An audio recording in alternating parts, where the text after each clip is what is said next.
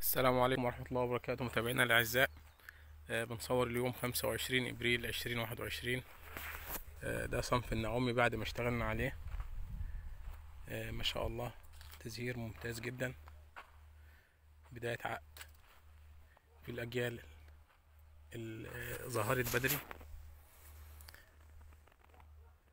في طبعا في نسبة عقد بتصفي زي كده مفيهاش جنين. لكن في حاجات كويسة فيها أجنة كويسة مفيش مشكلة خالص.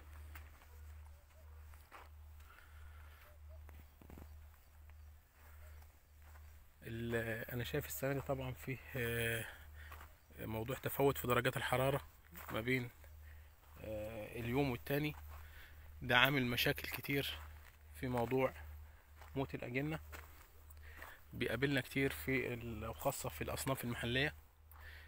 فيه آه، عدم تلقيح وإخصاب في بعض الظهر وفيه آه، موت أجنة في بعض الثمار. آه، طبعا الموضوع دوت سببه الرئيسي هو المناخ السنة دي. فإن شاء الله إحنا بنحاول نحافظ على ال- العائد اللي موجود بقدر الإمكان إن إحنا بنحافظ على الرطوبة الأرضية كويس. بنحافظ على التسميد خاصة تسميد ال- الكالسيوم الفترة اللي إحنا فيها دي. آه، بنرش طبعا رشات الفطري. ما ينفعش نهمل فيها الفترة برضو دي بعد العقد.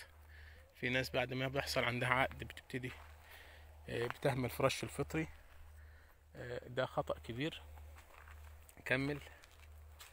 رش فطري. ممكن ترش كمان نحاس بعد تمام العقد. رشة الكالسيوم بورون من الحاجات المهمة.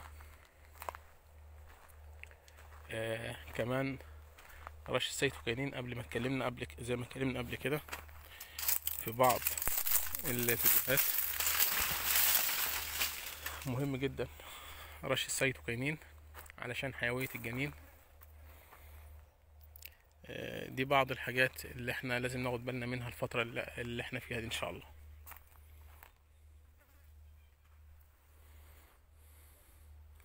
آه، طبعا التكتلات زي ما حضراتكم شايفين التكتلات دي لازم تتشال. تعمل إجهاد كبير على الشجر.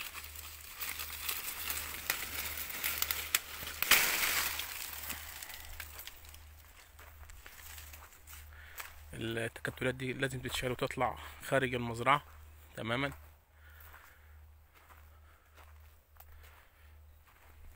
نسبة العقد ما شاء الله.